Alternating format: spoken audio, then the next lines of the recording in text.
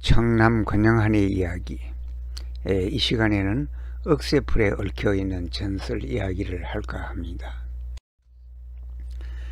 억새풀은 일명 갈대라고도 얘기하는데 이와 같이 생겨 있는 풀입니다. 사진에 보는 것처럼요. 억새풀에는 그러면 어떤 전설이 있는가 한번 알아봅니다. 공자의 10대 제자 중에 한 사람인 민선의 자는 자견으로 춘추시대의 노나라 사람입니다. 공자의 제자로 안혜와 마찬가지로 덕행으로 유명하며 24효자 중에 한 사람입니다. 그리고 이분의 후손이 여흥민 씨의 민칭도락하는 분입니다. 에, 그 우리나라 아, 민씨가 이와 같은 훌륭한 조상을 가졌는 때문에 민씨는 모두 다 참 덕행이 있고 양반이 많습니다. 에, 민소는 어려서 어머니를 여의자 아버지는 할 수 없이 그 살림을 꾸려나가기 위해서 재혼을 하였습니다.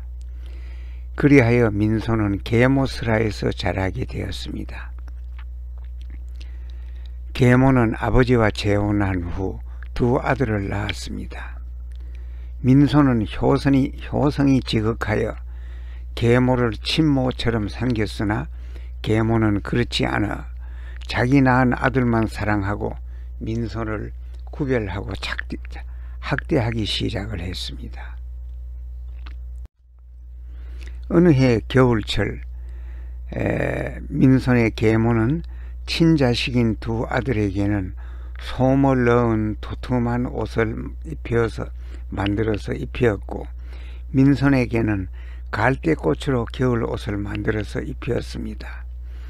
솜으로 만든 옷은 복신하고 따뜻하지만은 갈대꽃으로 만들면 보기는 부품해도 바람이 슬슬 들어와 조금도 보온이 되지 않아 몹시 춥습니다. 추운 겨울 어느 날 아버지는 손수레에 올라타고 민손을 불러서 끌게 했는데 민손은 추위에 온 몸과 손이 얼어서 몇 번이나 손잡이를 놓쳐버려 아버지에게 꾸지럼을 들었습니다. 그렇지만은 민손은 아무런 별명도 하지 않고 또 손수레를 묵묵히 끌기만 하였습니다. 얼마 후 아버지는 민선의 얼굴색이 추워서 푸르축축한 것을 보고 손으로 민선의 옷을 더듬어 보았더니 솜옷이 아닌 얇은 갈대 옷을 넣어서 만들어낸 호도심을 발견하였습니다. 그래서 계모의 두 아들은 모두 솜옷으로 된 두툼한 옷을 입고 있는 것을 나중에서 알게 된 아버지는 비통한 마음으로 크게 노하여 계모와 헤어지기로 하고 계모를 쫓아낼 결심을 하였습니다. 이 사실을 알게 된 민소는 눈물을 흘리며 아버지에게 간청을 하였습니다. 어머니가 계시면 아들 하나가 죽으면 그만이지만은 어머니가 안 계시면 아들 셋이 다 떨게 됩니다. 라고 하며 아버지께 간곡히 계모를 내치지 말 것을 간청하였습니다.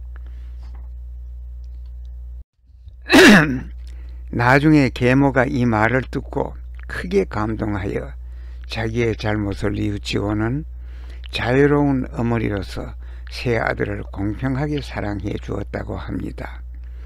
이로 말미암아 효자 민선의 효성은 만천하에게 알리게 되었습니다.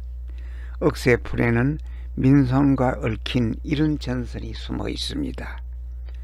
경청해 주셔서 감사합니다.